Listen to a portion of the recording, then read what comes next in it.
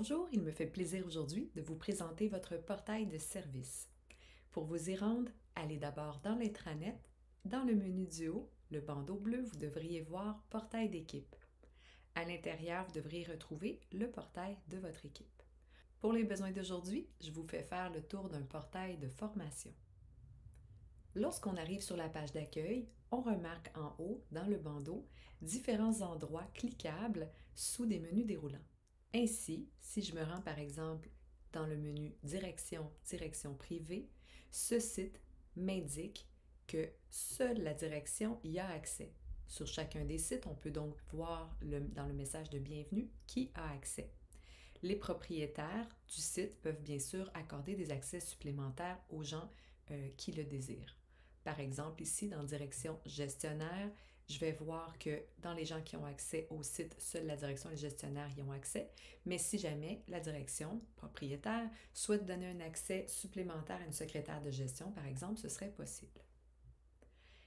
Le site administration va contenir bien sûr la direction et son administration, donc des secrétaires de gestion ou autres secrétaires.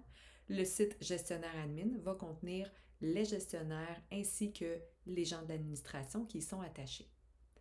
L'équipe va contenir généralement un site Équipe tous qui lui va être accessible à l'ensemble de l'équipe.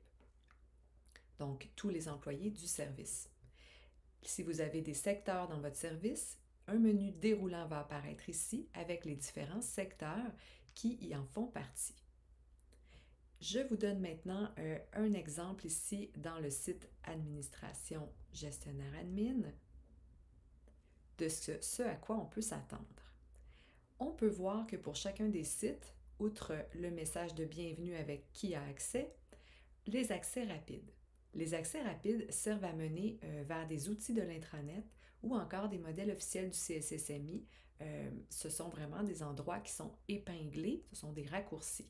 Sachez que pour chacun des sites, vous pouvez cliquer sur boîte à outils et venir, par exemple, ici on a créé un dossier document de référence avec à l'intérieur euh, pas grand-chose pour l'instant, mais il pourrait y avoir le plan de classement, il pourrait y avoir l'index qui sert à trouver à quel endroit vont vos documents. Donc, chacun des sites va disposer de sa propre boîte à outils et les boîtes à outils sont donc indépendantes d'un site à l'autre.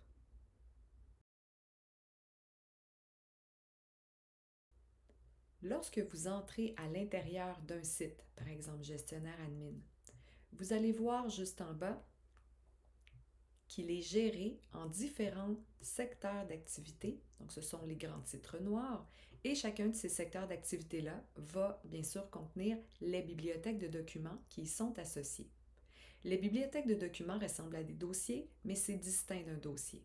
D'abord, une bibliothèque de documents apparaît seulement sur la page d'accueil de votre site.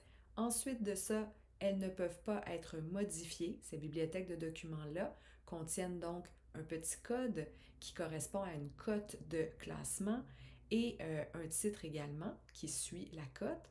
Et la cote sert à venir déterminer des règles d'archivage qui sont associées à cette bibliothèque de documents-là. Tout ce qui est en jaune correspond à des documents qui vont être à conservation court terme.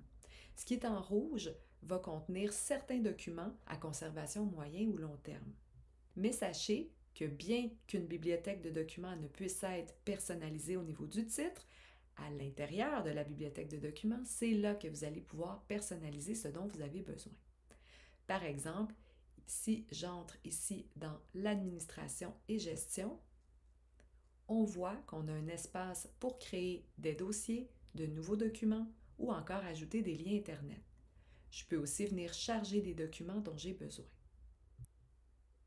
Si je reviens sur la racine de mon portail en cliquant toujours à gauche en haut, je peux observer des boutons qui sont des raccourcis vers d'autres endroits extérieurs à mon portail et tout ça peut être modifié.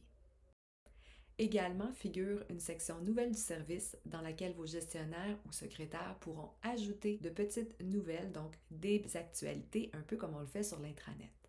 La section Babillard servira à tout ce qui a trait à la vie sociale de votre équipe, la section à lire, quant à elle, contiendra des actualités en lien avec des choses intéressantes à partager, mais peut-être moins essentielles que les nouvelles du service.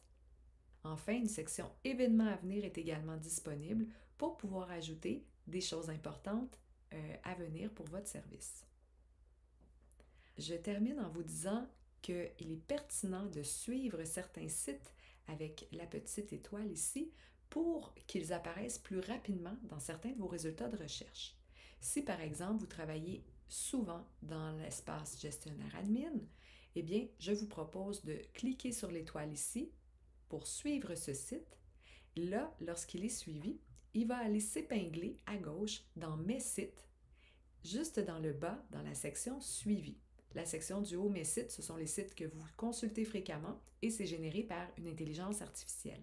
Par contre, juste en bas, les sites suivis, vous allez retrouver l'ensemble des sites pour lesquels vous avez apposé une petite étoile qui vous permettent donc d'y accéder plus rapidement, même à partir de l'intranet directement.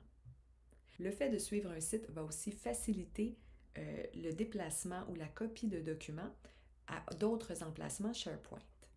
Voilà, en espérant le tout utile, je vous souhaite une bonne appropriation de votre site d'équipe.